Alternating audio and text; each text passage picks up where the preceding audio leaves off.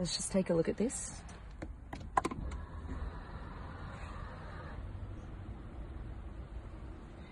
When you press these buttons, all of the cameras come on.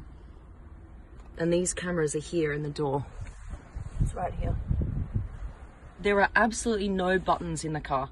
Everything is controlled here on this touch screen. So we'll just wind up the window. There'll only be up to 100 Tuataras made and it starts at $1.6 million plus options. Should we start her up?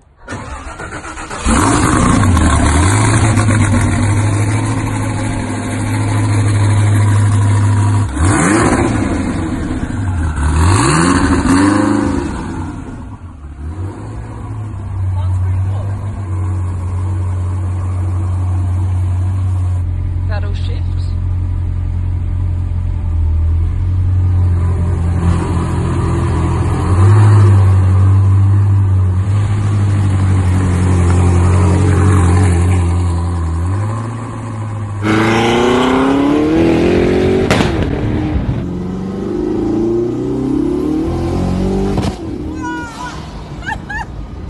That is so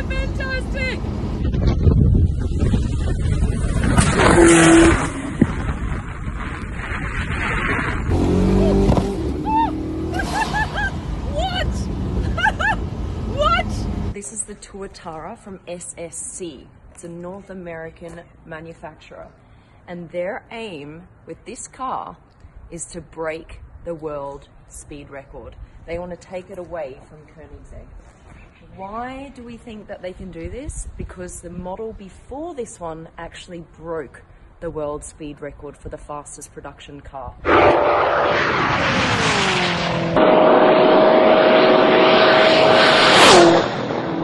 They want to break through the 300 mile per hour mark. That's 482 kilometers an hour. It has a V8 twin turbo, but they've actually developed a special turbo so there's no lag. It has 1750 horsepower, but it only weighs 1350 kilos. That's crazy.